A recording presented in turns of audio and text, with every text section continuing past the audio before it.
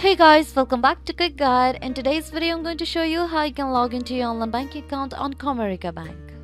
If you already have registered for online banking account on Comerica Bank, then now you can log in using the login credentials that you have set while registering for your account. The process to log in is pretty simple, secure and straightforward. By the completion of login process, you can have access to your financial transactions, account details and histories, payments, fund transfers and many more from anywhere and anytime online. So in order to get started, all you have to do is watch this video very carefully and follow the simple steps. First, go to any browser on your desktop.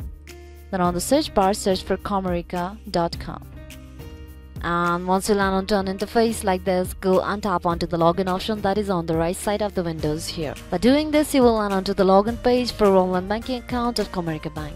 So before you get started with the login process, there are a few things that you need to keep in your mind. You cannot log into your online banking account if you haven't registered for it at the first place. So in order to do that, all you have to do is go and tap onto setup option in order to start your registration process. And once you're done entering for your online banking account, then you'll be provided with a user ID and a setup password that you can log into your account with. So go to user ID text field and enter the user ID associated to your account.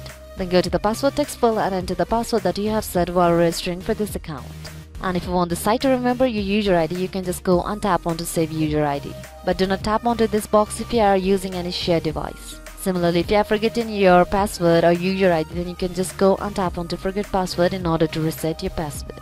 So once you are done entering your login details, go and tap on to login. By tapping on it, you will have successfully logged into your Comerica online banking account. So with all this information, I think you will be able to log into your Comerica online banking account in no time.